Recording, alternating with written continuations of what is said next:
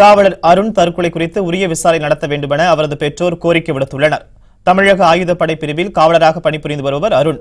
மதுரையைச் சேர்ந்த இவர் இன்று காலை ஜெயலலிதா நினைவிடத்தில் தன்னைத்தானே துப்பாக்கியால் சுட்டுக் கொண்டு தற்கொலைக்கு முயன்றுள்ளார். இதனையடுத்து சம்பவ இடத்திற்கு விரைந்த போலீசார் ஆயுதப்படை காவலர் அருணை மீட்டு மருத்துவமனையில் அனுமதித்தனர். ஆனால் அவர் சிகிச்சை பலனின்றி உயிரிழந்தார். இதனையடுத்து சம்பவ இடத்திற்கு நேரில் சென்ற காவல் ஆணையர் விஸ்வநாதன் அங்கு ஆய்வு நடத்தினார். மேலும் அருணின் தற்கொலை முயற்சிக்கு காரணம் படிச்சுமையா அல்லது குடும்ப தகராறா என்ற கோணத்தில் போலீசார் விசாரணை மேற்கொண்டு வருகின்றனர்.